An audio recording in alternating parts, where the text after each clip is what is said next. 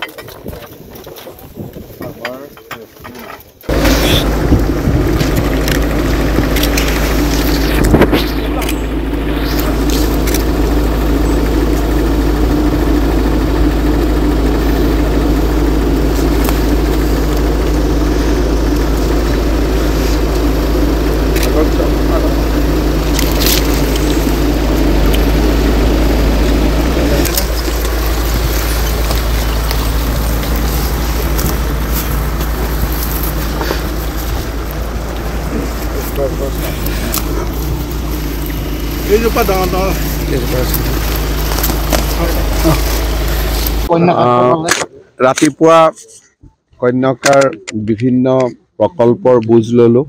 প্ৰকৃতিৰ মাজত পদ্মদাৰ লগত একেলগে ঘূৰিলো। গছৰ পৰা ছিঙি বগৰী খালো। অসমীয়া জা জলপানেৰে ব্ৰেকফাষ্ট কৰিলো। বহু দিনৰ মূৰত ভাল পোৱা এটা পালো। আঠ বছৰ পূৰ্বে ৰোৱা এটি গছ পুলি তলত আপুনি আজি আজি গছপুলি মহানিমৰ গছপুলি এডাল। দুই হাজাৰ ষোল্ল চনতে মই ৰুইছিলো। এতিয়া লহপহকৈ ডাঙৰ হৈছে। নিম গছডালৰ লগতো ফটো উঠিলো।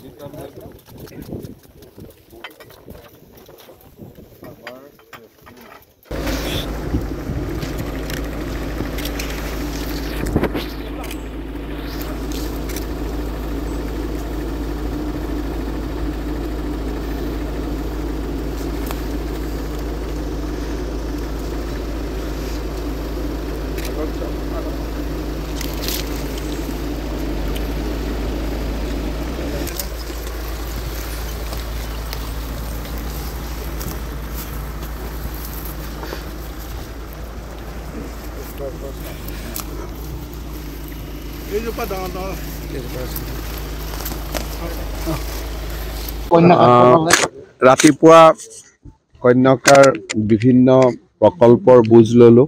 প্ৰকৃতিৰ মাজত পদ্মদাৰ লগত একেলগে ঘূৰিলো। গছৰ পৰা ছিঙি বগৰী খালো। অসমীয়া জা জলপানেৰে ব্ৰেকফাষ্ট কৰিলো।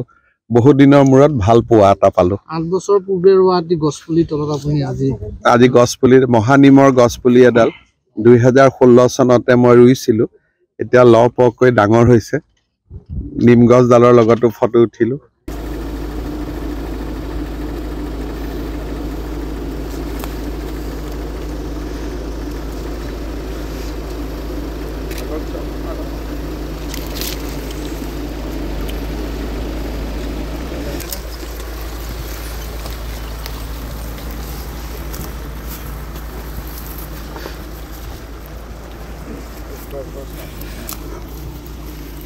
ये जो पता ना ये जो पता